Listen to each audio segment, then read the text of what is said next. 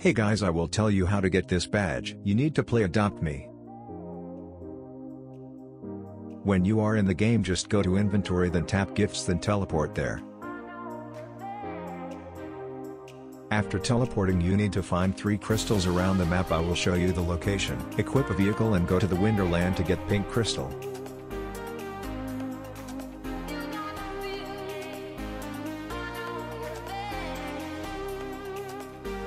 To activate blue crystal go to the red bridge.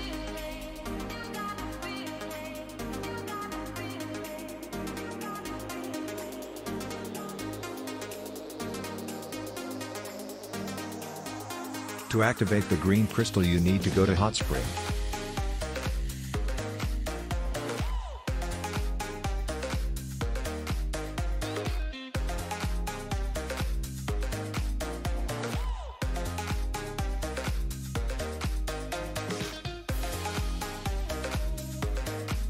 Now you need to go to the Sky Castle either with Fly Pet or a propeller toy or the ship.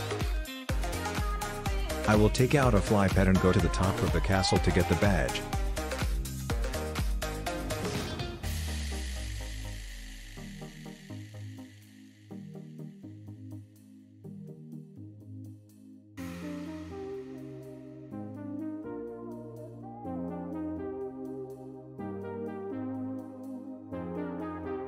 If you don't have a fly pet then get here and get up to get the trophy.